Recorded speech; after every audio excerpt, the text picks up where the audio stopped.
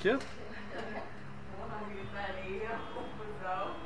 Aquele dia? É. Porra. Onde eu trabalho em Vila Carioca lá também é pior do que aqui, cara. Lá é o tempo todo assim, mano.